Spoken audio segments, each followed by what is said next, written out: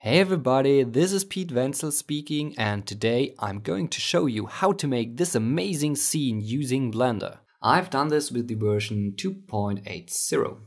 First of all, I've created the main part of the pyramid by using simple subdivided planes and a particle system. For the side walls, my particle system was set to hair and render as collection.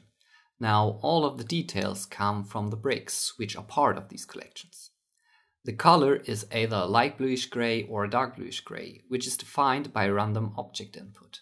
The cool thing about this workflow is that I can create more bricks and brick combinations afterwards, and the model will update as soon as I have assigned the new ones to the collection.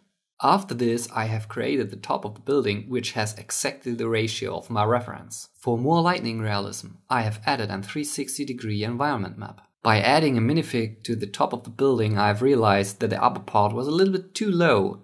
Therefore, an additional row of bricks was added to it. The terrain was created by using the landscape plugin and a particle system afterwards. Two additional particle systems were added. To ensure no plants are placed in the wrong areas, I've used two different density maps, which were both painted in Blender as well. Built some depth of field with the main building in focus substituted the environment image with a new one which represents the main landscape color a little bit better than the older one did. Some more minifigs were added to get more life into the scene, and the background was added too. The sky is just plain with a mixture of a blend and a noise texture. The hill in the background is just another generated landscape with some particle plants added. To increase the level of detail and for better blending between foreground and background, I have added some mist and did some basic color correction using Blender's compositor. I've adjusted the material of the bricks which are part of the landscape particle collection. Now the color is defined by each brick's Z position and I've introduced three more colors to the landscape tan, light bluish gray and dark bluish gray. After realizing that there's still no foreground, I've added a small landscape patch and moved it close to the camera. Dark tan was added as a new color of the landscape particles to reduce the high contrast from brown to tan.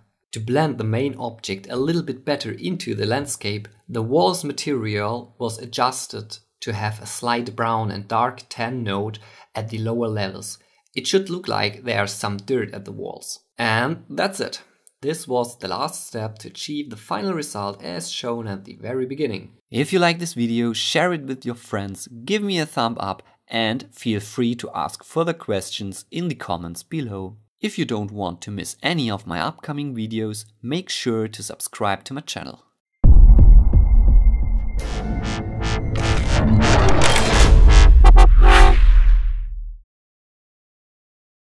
This making of was way too fast for you, or you would like to get to know more?